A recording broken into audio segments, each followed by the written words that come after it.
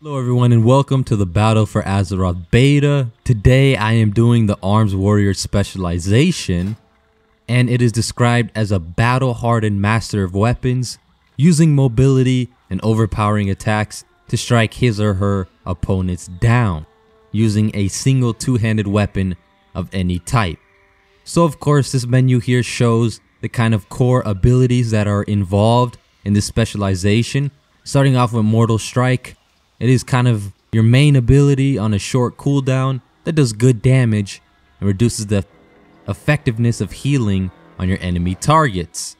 And then you have Overpower, which does a good amount of damage as well. It can't be blocked, dodged, or parried, and increases the damage of your next Mortal Strike by 20%, stacking up to 2 times.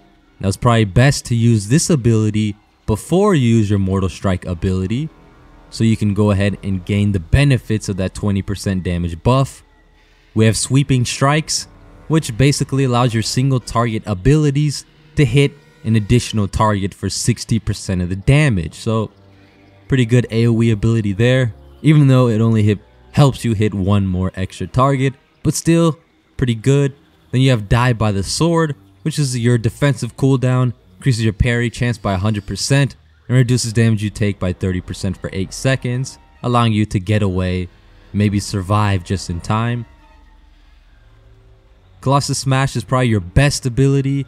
It does a significant amount of damage and increases the damage you deal to them by 30% for 10 seconds. The only thing is it's on a pretty long cooldown so it can't be used in every encounter.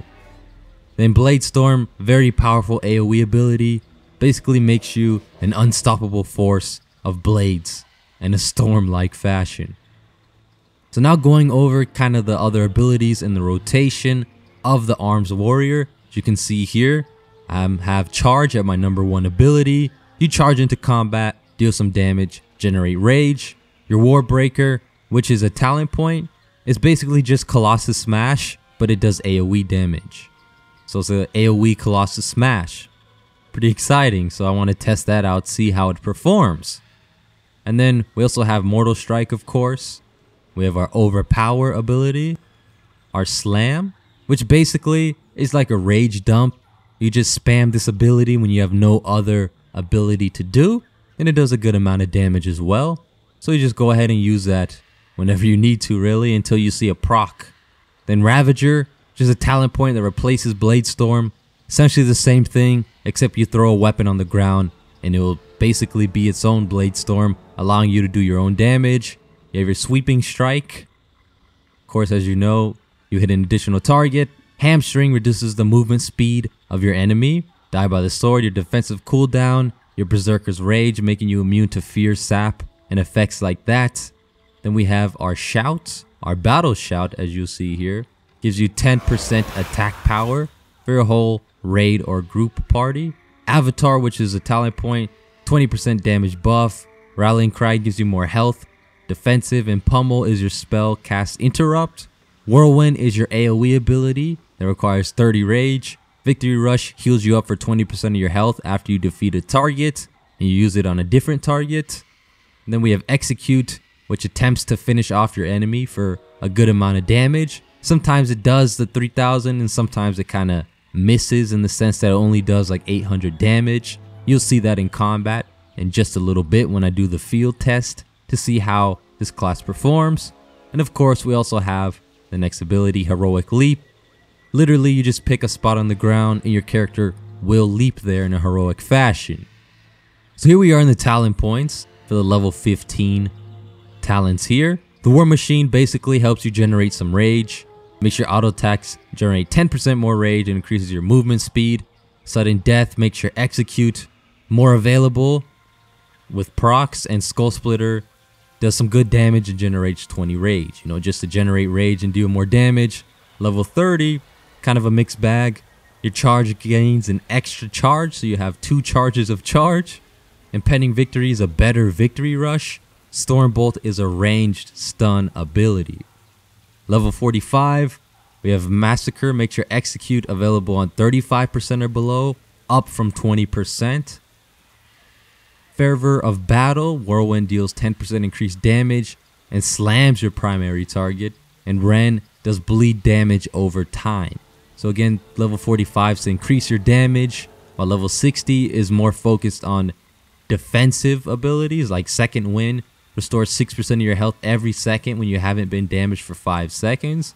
So you kind of heroic leap or just run away and you can just start to heal up or just in and out of combat. Then bounding stride makes your heroic leap more readily available and increases your run speed. And defensive stance, a straight up defensive cooldown ability to help you survive of course. The whole level 60 talents are about. Level 75 right here is kind of a focus on AoE. Like this one makes your sweeping strikes refund 20% of the rage after you hit your second target. And then we have Warbreaker. Like I said, it replaces Colossus Smash in the sense that it's an AoE Colossus Smash. Pretty good ability, I'm going to test it out for sure. And Cleave is a pretty weak AoE ability that can inflict deep wounds, which is your mastery. Uh, level 90 talents, In For The Kill. Of course, this just increases your damage. Colossus Smash gives you more haste, so you can attack quicker. Avatar is a straight up 20% damage buff.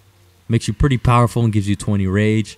Deadly Calm basically makes all your abilities free. They cost no rage for 6 seconds, so you can use all the abilities you want at no cost of rage. And of course, level 100 again is to increase how much damage you can do. Anger Management.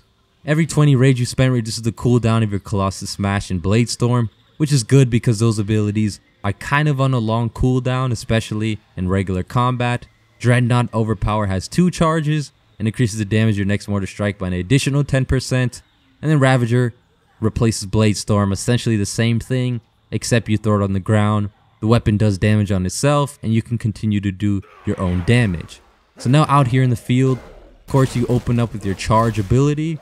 I use my Warbreaker slash Colossus Smash. You overpower your Mortal Strike, and of course you follow your procs as you see there. Have Execute procking a lot, Overpower procs a lot as well, and of course you get Victory Rush after you defeat a target to heal yourself up. But here's a clip of some AoE damage. Go ahead and open up with a Blade Storm. As you see, it does a really good amount of damage to everybody. Then I go ahead and pop my Sweeping Strikes. And I just follow my single target rotation. And you'll see everyone's health go down slowly over time. And of course, use that Victory Rush to keep yourself maintained up to continue fighting. So again, here's another little AoE pool here. You do some Blade Storm damage. They go down quickly. And yeah, just follow your rotation and I just execute and execute until they die. So here is a pretty strong opponent here. Gonna use my avatar ability for that 20% buff. And just go ahead and follow my abilities here.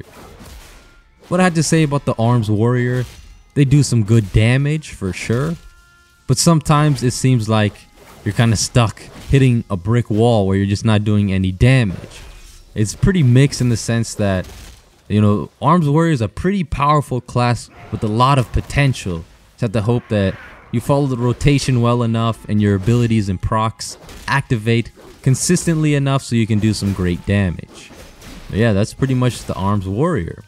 So the execute's pretty fun to play with, doing consistent damage here, and take down your targets. But anyways, that's going to be all for this video today.